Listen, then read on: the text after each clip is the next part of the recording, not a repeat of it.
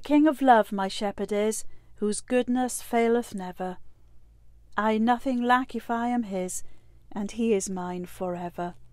Where streams of living water flow, my ransomed soul he leadeth, and where the verdant pastures grow, with food celestial feedeth. Perverse and foolish, oft I've strayed, but yet in love he sought me, and on his shoulder gently laid, and home rejoicing brought me.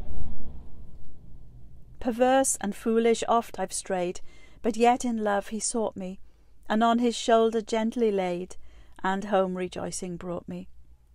In death's dark vale I fear no ill, with thee, dear Lord, beside me.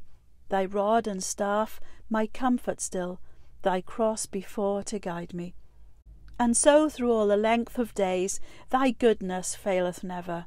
Good Shepherd, may I sing thy praise within thy house for ever.